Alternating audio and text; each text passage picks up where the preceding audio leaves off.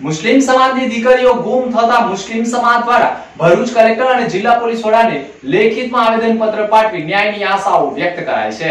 ભરૂચ શહેર જિલ્લામાં તથા ગ્રામ્ય વિસ્તારમાંથી મુસ્લિમ સમાજની દીકરીઓ છેલ્લા ઘણા સમયથી ગુમ થઈ રહી હોવાના આક્ષેપ સાથે પરિવારજનોને યોગ્ય જવાબ ન મળતો હોવાના આક્ષેપ સાથે ભરૂચ જિલ્લા સમસ્ત મુસ્લિમ સમાજ દ્વારા ભરૂચ કલેક્ટર કચેરીએ ન્યાયની આશાએ દોડી આવ્યા હતા.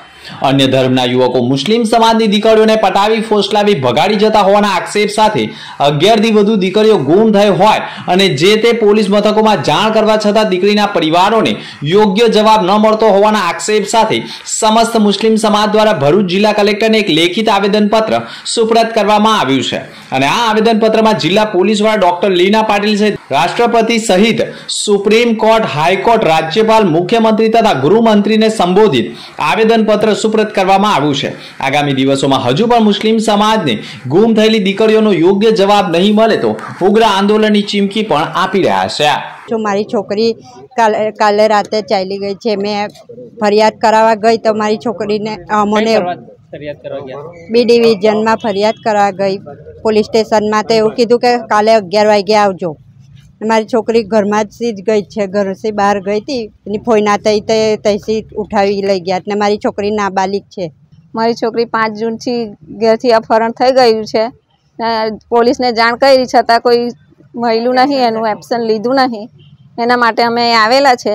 આવું મુસ્લિમ સમાજની છોકરીઓને કેમ આવો એ કરવામાં આવે છે? કઈ કઈ જગ્યા તમે કયા કયા જગ્યા અમે મૂળ નિકોરાના છીએ. અમે નિકોરાથી બધે છોકરી તવરામાં છે. તવરામાં છે અને એના ઘેર એને લઈને રહેવા બી માંડ્યા છે. તો મહિનામાં હું એને બધું એ કરાવી લીધું છે બધું મેરેજ સર્ટીને બધું મળી ગયું છે એને. ને ધર્મ પરિવર્તન બી થઈ ગયું છે એક મહિનામાં એનું. તમારી શું માંગણી અમારી માગણી એ છે કે અમારી છોકરી અમારી ઘેર પાછી આવે. એના ન્યાય માટે અમે અહીં આવેલા છે. આજ રોજ તારીખ અગિયાર સાત બે હજાર ત્રેવીસ અને ભરૂચ જિલ્લાના સમસ્ત ભરૂચ જિલ્લા મુસ્લિમ સમાજના લોકો તથા અમારા સમાજના આગેવાનો ભરૂચ જિલ્લામાંથી છેલ્લા બે ત્રણ મહિનાથી એક ષડયંત્ર ચાલી રહેલું છે.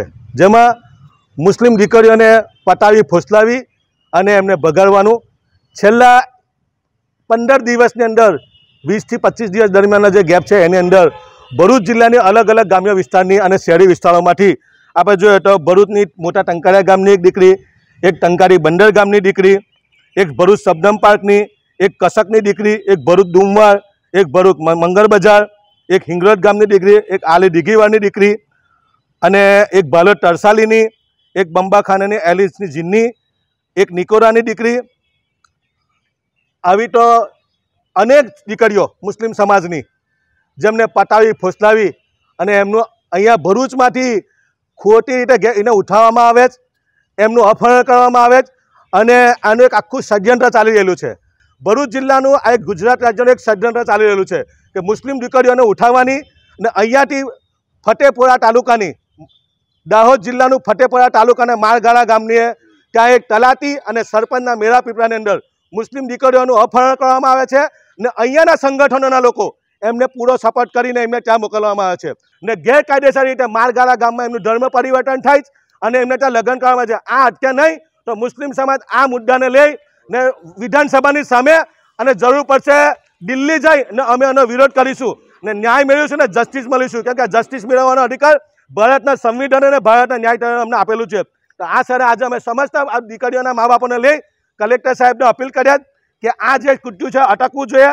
મુસ્લિમ સમાજને ન્યાય મળવો જોઈએ. એ તમારી નૈતિક જવાબદારી છે. મુસલમાનોની રક્ષા કરવી, એ પણ ગુજરાત સરકારની અને ભારત સરકારની જવાબદારી છે. અમારે ક્યાં સુધી અમારી દીકરીઓનું અપહરણ થશે?